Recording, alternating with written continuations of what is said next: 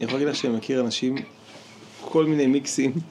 כל אחד במקום שלו, יש כאלה שגם שניהם זזים לכיוון כזה או כזה, ויש כאלה שנשארים לגמרי במקום שלהם, הכל בסדר. הבן שלי עכשיו הגדול, הוא לומד בכולל בהוד השרון, והחברותא שלו זה מישהו שאת רואה אותו נראה, אני נראה לידו כאילו הכי הכי לא דתי, כאילו נראה כזה ממש זה, ואשתו בדיוק הפוך, היא פסיכולוגית תעסוקתית, לא יודע מה, כאילו הכי הכי רחוקה מהזה, והם חיים ביחד ובקשר טוב, וכל אחד בנקודה שלו, יש את המקומות של ההשקה, יש את המקומות של כל אחד בסיפור שלו, הכל אפשרי.